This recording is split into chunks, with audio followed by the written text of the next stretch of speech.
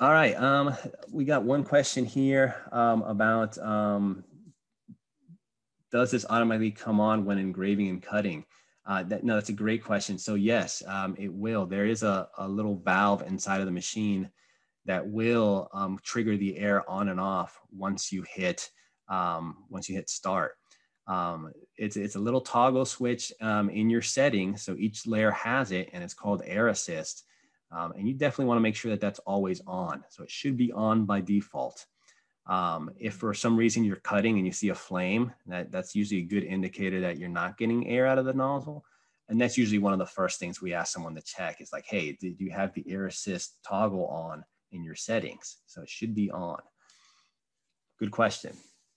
Um, all right, so um, we're gonna move on to a controlled burn and, and really this is, um, I'm just gonna get into the science of what you're doing and how to control it. Um, and, and, there's, you know, there's variables to this and, and essentially uh, this is your rite of passage to really becoming proficient here is you, you kind of want to know how, how the laser um, is, is controlled, how you're controlling that burn on your material. And it's, uh, it's just like any other, you know, purposely lit fire. You know, you're doing the same thing. Um, so there's skill involved here to make sure that you know you get you get the best control out of it. The more control you have, the better the results you get. So there's four variables here. Um, the acronym for it is SPIF, speed, power, interval, and focus. And those are the four things that are really going to um, affect uh, how you control that burn speed and power are the main ones. I would, I would tell you guys that's really where your main focus is going to be um, just getting started. Uh, interval and focus, I consider those more for fine tuning, but we will go over them as well. Uh, so speed, the rate at which the laser beam travels uh, will determine how deep it will penetrate. So here's a good analogy. Um, you know, imagine moving your hand over a candle. Uh, we've all done that at some point, you know, probably when you were in high school, trying to see who can hold their hand over the candle the longest. So obviously the slower you move your hand, the hotter it's going to get. You're giving, you know, it more time to, to really heat up. Uh, conversely, the faster you move your hand, the less you feel it. So that's how speed affects your burn. Slower you go, the deeper it's going to be, you know, the more time it'll have to heat up and the deeper that mark, that, that engraving or cut's going to be uh, and vice versa. Um, and power um, is, is basically the wattage. So you can control that. It's, it's controlled by a percentage. And, and that's also going to affect how quickly the material heats up. Um, so, you know, just think of your stove. You know, you got that low and that high setting on there. Um, and of course, you know, you don't always just throw your food on the stove and crank it up to high all the way. You know, you're going to just burn your food. Um, but, you know, that's you're controlling this, you're controlling your power and I'll get into that. I'll give you guys some some tips on on really how to how to dial this stuff in.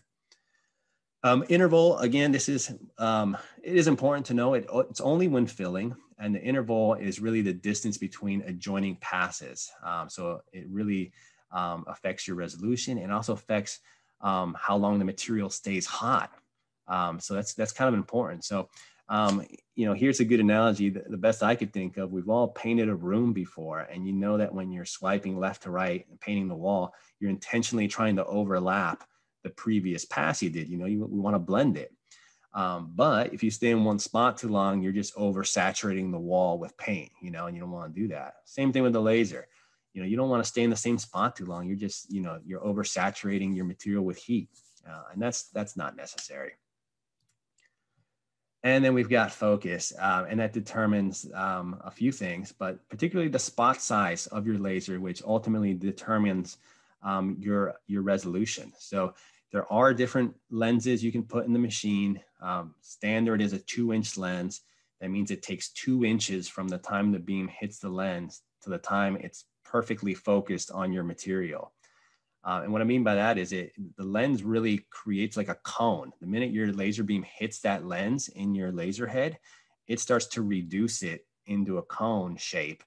And two inches from that lens is where it's going to be its strongest. And that's what we refer to when is your laser in focus. That's the most powerful point of the beam. Um, and the minute it hits that focal point, it starts to diverge. It starts to get unfocused again. So it almost makes like an X you get a cone coming in where it gets really, really small and really powerful. and instantly starts to reverse and get really, it starts to spread out and get weaker and weaker.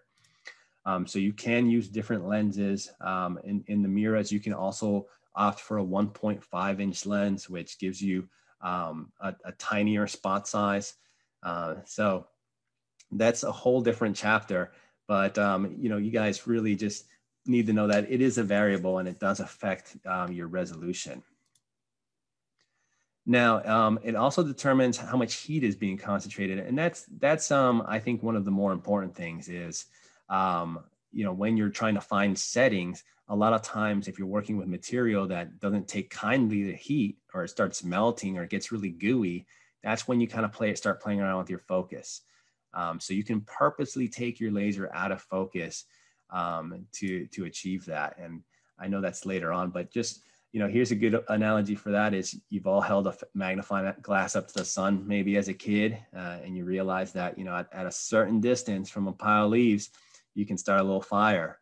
Um, so that just might help you, you know, connect the dots there as how this is working. It's the same thing. You're taking light from the sun and you're concentrating it to where it creates so much intensity that it burns. Um, that's what your machine is doing. Same exact thing.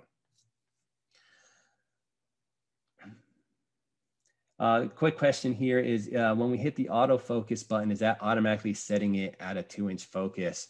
Uh, and the answer is yes. That's what the autofocus is doing for you. Um, it is set to two inches because that's the lens that's in there.